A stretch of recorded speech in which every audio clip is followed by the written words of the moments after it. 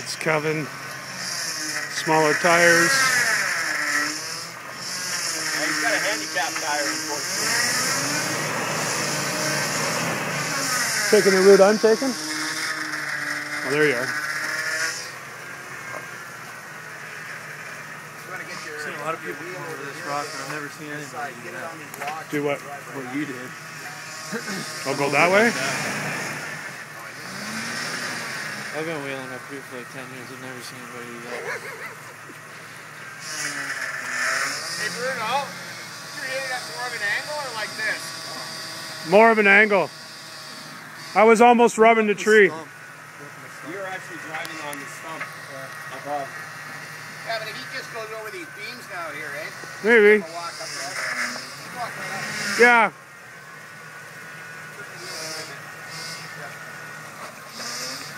Yeah, you cleared it.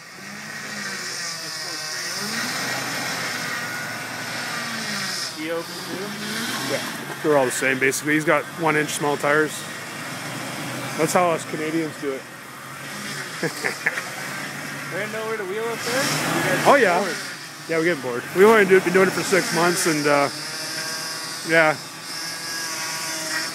Where we go, it's an hour away for good trails, or an hour over here. So we thought we'd come out here. It's his birthday, so you got to turn this way, buddy. You're up in that rock. I know how much though. A lot. A lot. Back up. why. Take it. Turn your wheel this way. That way. Yeah. And then back up six inches. Reverse, isn't he? Yeah, back up six inches. Hopefully his don't. No, no.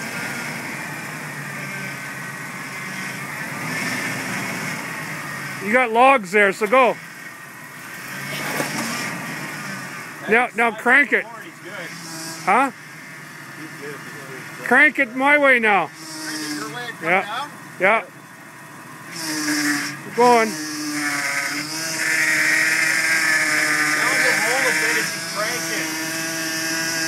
That's how it's